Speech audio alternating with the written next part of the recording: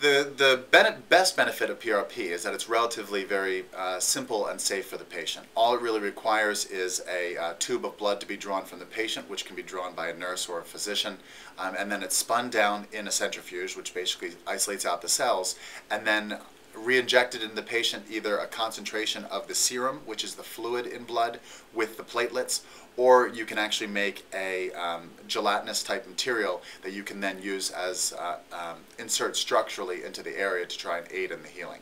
But it's very safe for the patient. It's using the patient's own blood, just giving them back to the patient, um, and it doesn't require uh, too much complex uh, techniques or, or, uh, or things like that.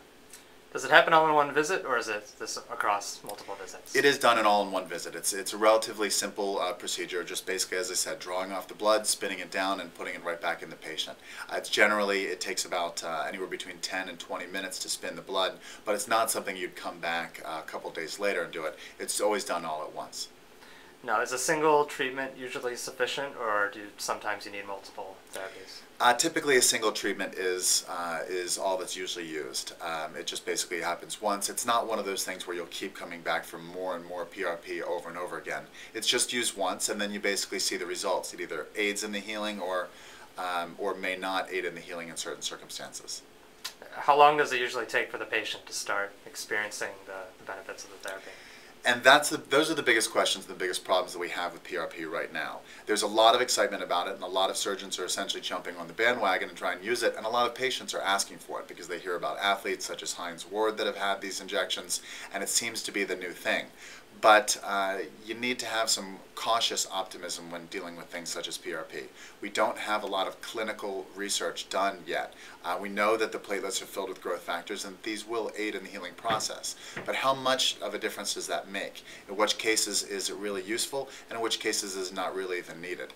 These are things that time and research will play out over, um, over the upcoming years. A lot of studies are uh, undergoing, including studies that we're doing here at the University of Chicago, to try and determine exactly how effective is PRP and what cases is it best used for.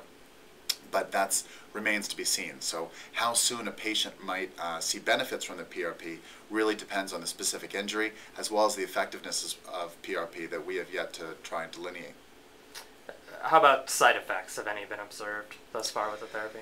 Generally speaking, it's very safe. Um, all it is, as, as I said, all it is is just taking the patient's blood, spinning down the platelets, and putting them back into the patient. Uh, I guess there, because you're taking the blood out of the patient, there would be a very, very small risk of infection, but nothing higher than the risk of surgery anyway. So that's one of the reasons why it's being used by many surgeons across the country is because the risks are very low. As a therapy that's still experimental, uh, what is the situation with insurance covering it or the costs related to uh, the therapy? The cost of the procedure using of adding PRP to a procedure that's already being done or just doing PRP is around $500. That's uh, basically the main cost is for the equipment that's uh, that the product companies make that actually spin the fluid down and are able to isolate out the platelets. Um, whether insurance uh, covers it is a little bit of uh, kind of a case by case basis, needs to, to be delineated out um, more specifically. Um, there are plenty of cases where insurances have covered for it, but it's not run of the mill enough yet where insurances will routinely cover for it. It needs to really be approved on a case by case basis.